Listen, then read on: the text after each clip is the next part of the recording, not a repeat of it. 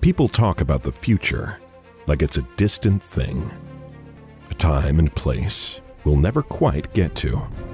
And yet, it's always closer than we think. Suddenly, it's here.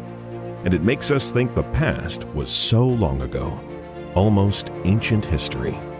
When really, it's only been a few years, a few months, since big things happened. Moments that changed everything. Things that made us who we are today. It's why we're here.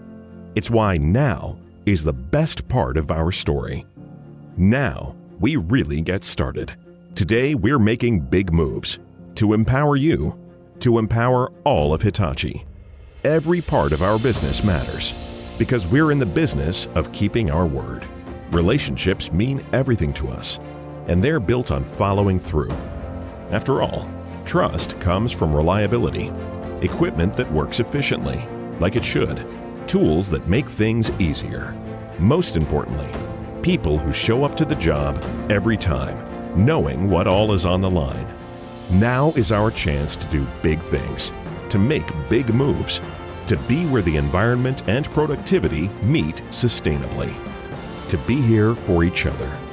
As Hitachi Construction Machinery Americas, it's how we're empowering the future.